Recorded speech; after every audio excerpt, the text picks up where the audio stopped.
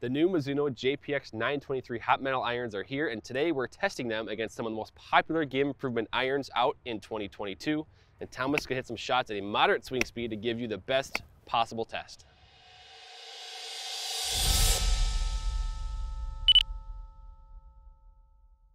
Hey golfers, I'm Drew Mahowald, Second Swing Golf, joined on the driving range today by Thomas Campbell, Master Club Fitter at Second Swing. Thomas, a fun one today. New Mizuno JPX 923 hot metal irons. Irons from Mizuno are always a big deal. Uh, the hot metal irons in particular have been awesome for kind of that mid into high handicap uh, range of golfers last couple years. 923 uh, series looks no different. Today we've got the popular other game improvement irons, especially the lower lofted ones. Uh, so TaylorMade Stealth is in my hand. You've also got two more, the Rogue ST Max and the T300 from Titleist. So both of the, all three of those have been really popular in fitting bays at second swing this year. Now we add 923 hot metal to it, but how does it compare to these three, think?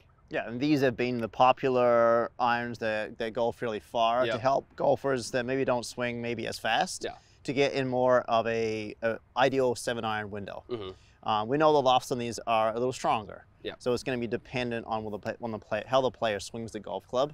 Um, but it'd be interesting to test this, and I'm not going to swing at my normal swing speed today. Yeah. That's what the most important thing is here. We're gonna, I'm going to swing. We've kind of watched the, the, the comments here, and people like to see reviews of irons that fit into that average club speed. So I'm Yeah. going to try and swing around about 75, 80 miles an hour club speed for a seven iron, and we're just going to see how they compare with regards to numbers. Um, I think it'll be an interesting test. They all do range in about half a degree increments. Yep. So the strongest lofted iron is the Rogue ST Max at 27 and a half degrees for a seven iron. Then we've got the Stealth at 28. Then we've got the Mizuno Pro JPX 923 at 28 and a half, and then we've got the Titleist T300 at 29. Mm-hmm. So there should be some some little differences in spin and carry distance, but I'm really interested to see like the, the peak height and the trajectory because that is important. We need stopping power with these irons. Yep. Even if they're going further, we need to make sure they do fit in an ideal window. Right, and I, we have seen before an iron test where the loft hasn't always dictated which is the lowest launching or the farthest uh, iron. So uh, we'll see if that bears true today. We've got four irons. We're going to hit some shots on TrackMan, and then we'll uh, break down the data. You ready to do this, Thomas? Let's do it.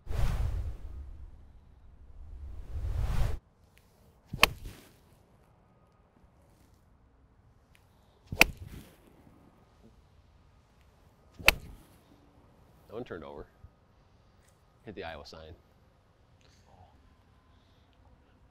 And it bounced left. Of course it did. That's a good ball.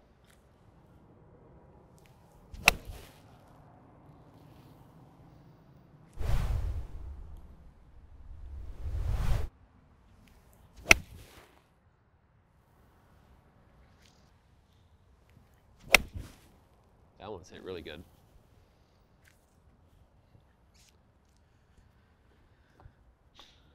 One five zero on that smash. Holy smokes, that went far. 150. it felt good. That went so much further than any of the other ones. Wow.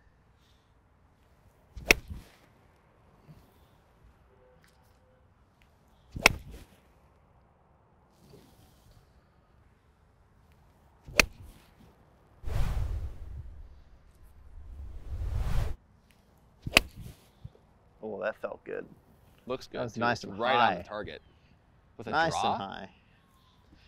That's the most draw I think I've seen too. Yeah, that's a good golf. That was, I think that's your best golf shot of the day.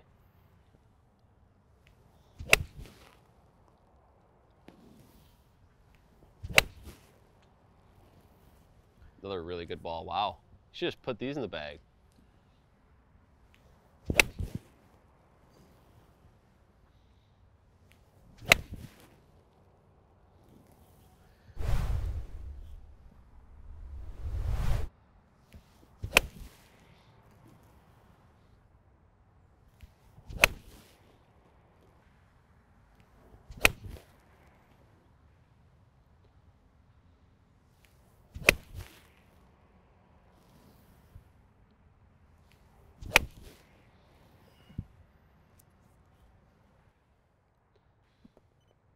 Those are Spurgeon is really good.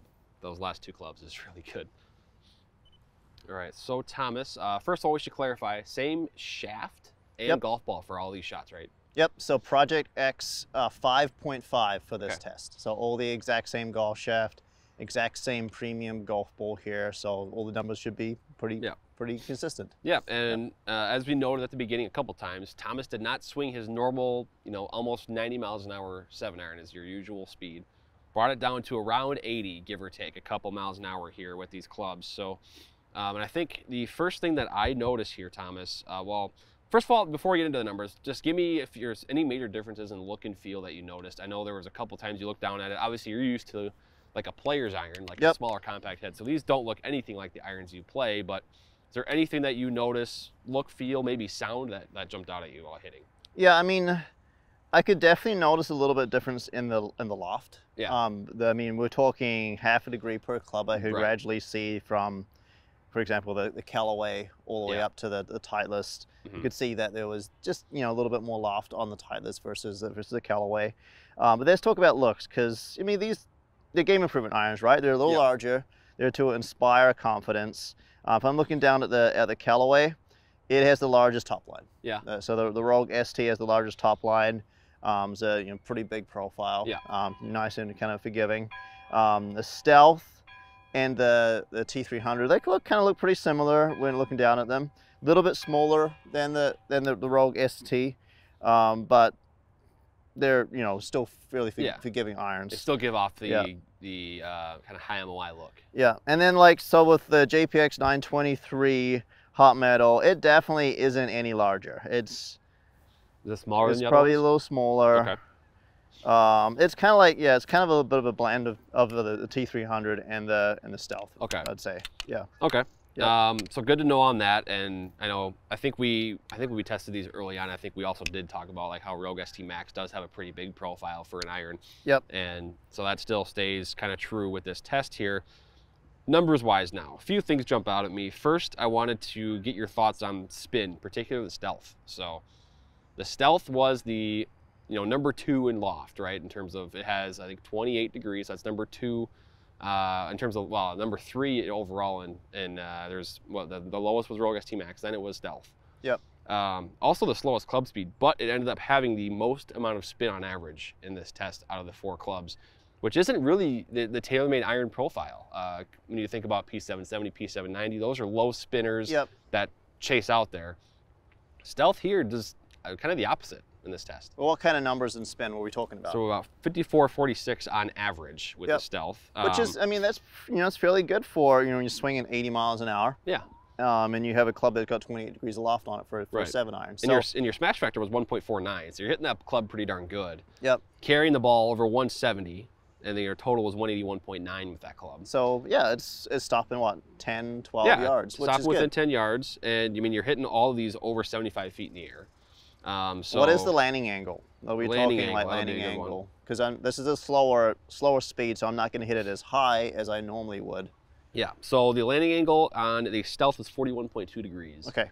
So I know you're looking right around. Is it 40 to 45? Is kind of what you're looking for? Yeah, with, with this speed, yes. Okay, with Yeah. this speed. Yeah, So with this speed. 41.2 there with the stealth. So it falls into that window. You know, you hit the ball really well. Like I said, your ball speed is 118.6, which is not probably that far off from what you're usually used to with a your own actual seven iron. Um, Right. Now, granted, that's more loft and a different club, but Yep. So the stealth was the most uh, spin. The Okay. launch angle there was 14.3, which actually was the lowest, just barely. Okay, I would expect the launch angle profile and the dynamic loft to kind of follow suit with the, the Right. stated loft on the golf club for Right. sure. Um, But it's interesting to note that stealth spins just a little bit more than Yeah. other game from irons. So on the other end of the spectrum, then Rogue ST Max was the lowest spinning. Falls right about in the middle in terms of how fast you swung it at 80.4, but it was 45.87, so comfortably lower than Stealth. You know, we're talking about 900 RPM average. That's what I would purely expect because it's got 27 and a half degrees Yeah. of loft on the seven iron. Yeah, much lowest- lower yeah. loft, um, a pretty low loft in terms of the spectrum of irons out there, Yeah. right? So what does Um, that do to my landing angle? Yeah, your landing angle dropped down below 40 to 39 degrees. so this Um, would be a great iron for those golfers that hit the ball too high with too much spin, right? Right. Right. And there are a lot of players out there like that. They Yep. come in really steep. Maybe that face opens up a little bit sometimes. They get that kind of high banana almost. The Rogue ST Max can really help golfers with that for sure. Correct. Um, overall, distance wise, it was 171.7 carry, 186 total. So you had that 15 kind of yards there of Yep. run out. So if it you rolled will. out a little bit more. hmm Uh, T300 was the next club that you hit. 81 miles an hour was your speed there. So I mean, we're talking about fractionally different here Right. each, on each club.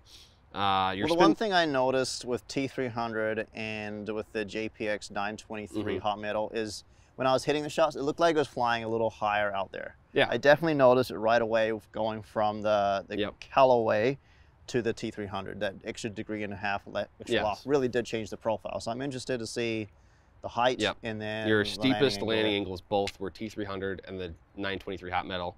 Uh, they both got over 42 degrees, and your height on both those was also both over 80. Also worth noting there was both the draws showed up with those two irons. Your average curve was 11 and 12 feet left with those. It was actually to the right with the other two clubs. Okay. So Which something is interesting there, considering it's drawing, but also flying higher. yeah, it was drawing, which usually knocks spin off Yep. most of the time, but you still had enough height to get it up there and see the flight that you like.